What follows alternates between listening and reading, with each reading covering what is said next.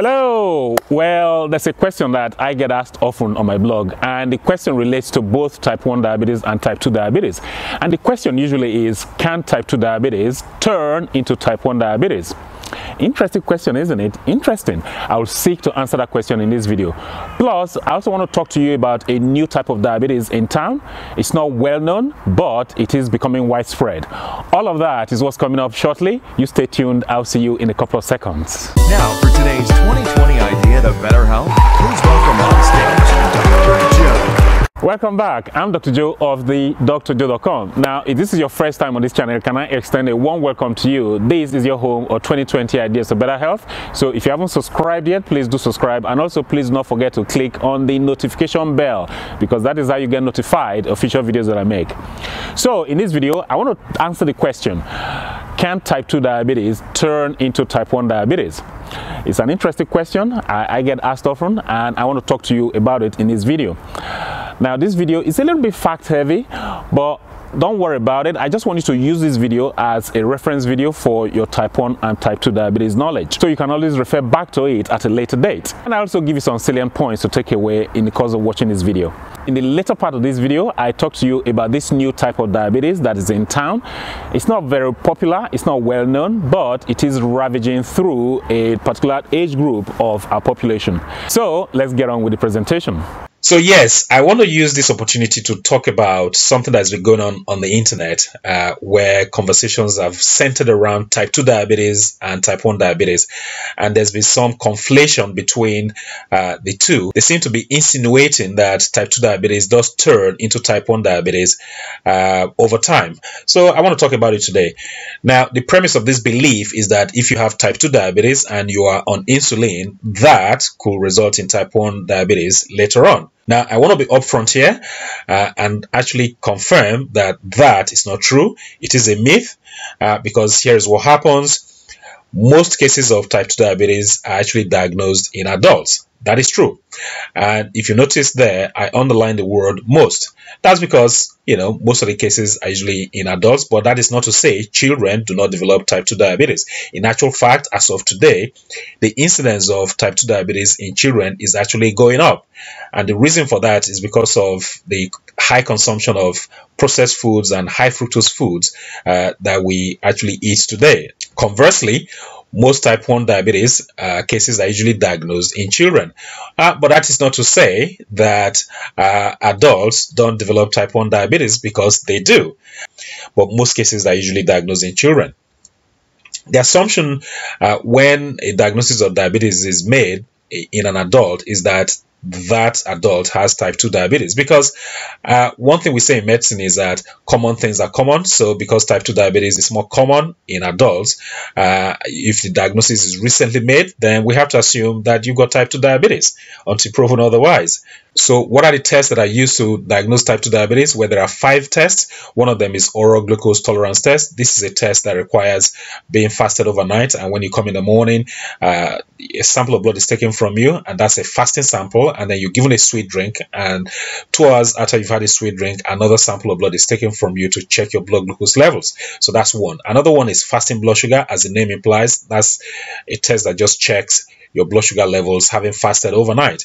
Third one is 2 hours post meal blood sugar. And the fourth one is random blood sugar, as the name implies, is done randomly. And the fifth one is hemoglobin A1C, this is another popular test. The hemoglobin A1C is a test that checks your average blood sugar levels in the last 90 days or thereabout. Now, the two most popular tests amongst all these five tests are the fasting blood sugar and the hemoglobin A1C. Those are the two tests that are usually uh, done to diagnose type 2 diabetes.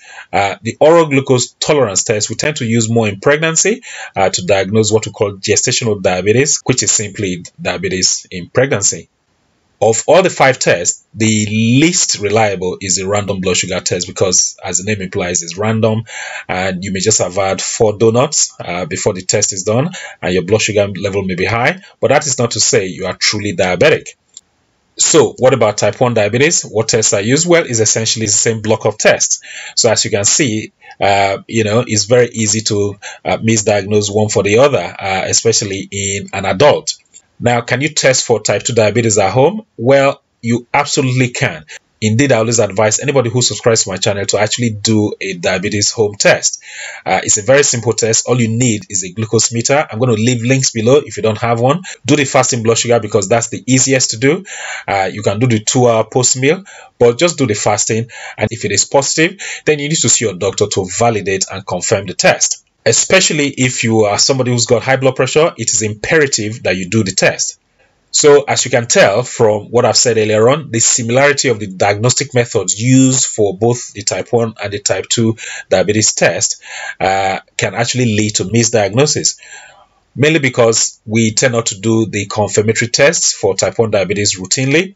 And what are these confirmatory tests? Well, there are two types. One of them is the C-peptide test, and the other is the islet cell antibodies test. Now, I just want to say a word or two about the C-peptide test.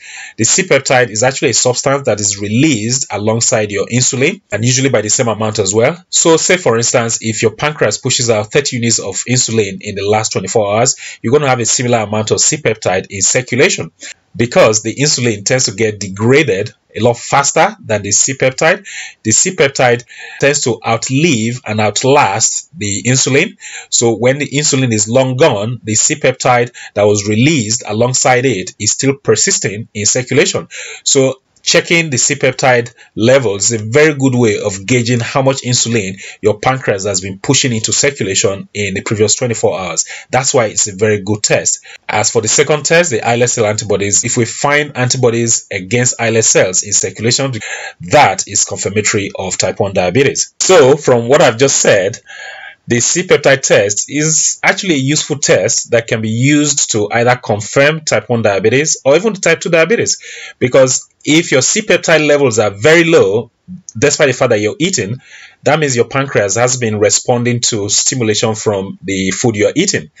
Uh, and that is typical of type 1 diabetes because in type 1 diabetes, you are making very little or no insulin at all. As opposed to type 2 diabetes, where your C-peptide levels will be high because in type 2 diabetes you've got insulin resistance so your pancreas tends to push out lots and lots of insulin in response to the high blood sugar levels. But because your cells are resistant to the insulin uh, they don't respond at all. So high c-peptide levels are highly suggestive of insulin resistance which is type 2 diabetes and very low c-peptide levels are highly suggestive of type 1 diabetes. So the bottom line here is that type 1 diabetes can actually be misdiagnosed as type 2 initially because of the reluctance to do confirmatory tests and also the assumption that if you are an adult and you've been diagnosed as diabetic, then we just assume you've got uh, type 2 diabetes. But this misdiagnosis can actually be corrected later on. But that is not to say when this misdiagnosis is corrected, that is not to say that type 2 diabetes has now turned into type 1 diabetes this is the conversation has been going on on the internet, and people tend to be driving the view that type 2 diabetes does become type 1 diabetes uh, later on. That is not true, and that is one reason why I decided to do this video. So the salient point here is this. You can develop type 1 diabetes or type 2 diabetes at any age. Another point to note is that type 1 diabetes will always need insulin.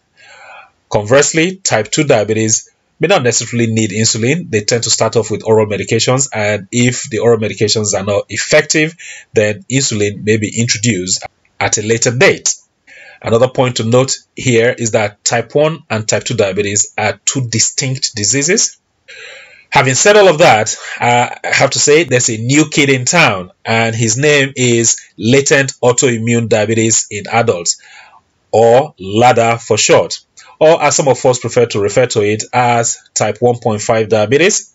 LADA is smack bang in the middle of type 1 diabetes and type 2 diabetes. So it behaves a little bit like type 1 diabetes and a little bit like type 2 diabetes as well because it is in the middle. LADA is slower in onset than type 1 diabetes, but at the same time, it is faster in onset than type 2 diabetes because it's behaving like the middleman. Another characteristic of LADA is that it tends to be diagnosed more commonly in the 30 to 50 year olds. That is not to say a 60 year old cannot be diagnosed with LADA, just like a 25 year old can also be diagnosed with LADA. But so far, it seems to be more common in the 30 to 50 year olds. Another characteristic of LADA is that it tends to be more common in people who are of normal weight, people within the normal BMI range. Indeed, if you're normal weight and you have diabetes as an adult, that should raise an index of suspicion for your doctor and it should be wondering whether you actually have type 1.5 diabetes as opposed to type 2. So LADA is not common in overweight people uh, as tends to happen with type 2 diabetes. Now, because LADA is a type 1.5 diabetes, we have noticed that most LADA sufferers tend to start off with oral medications, but they do move quickly on to insulin faster than a typical type 2 diabetic. That's just a peculiarity of the type 1.5 diabetes. At the moment, this is how much we know about LADA, but research is still ongoing, and only time will tell if the management of LADA is going to improve as time goes on. So that's it. Uh, hopefully you've learned a lot from this video. Now, if you enjoyed this video as usual, give it a thumbs up. Uh, please share this video with your friends, family, and colleagues. Uh, if you haven't subscribed yet, please do subscribe. If you've got any questions, any comments, please uh, leave them down below as usual. Uh, I think that's about it. Until next time, well, this is Dr. Joe signing out.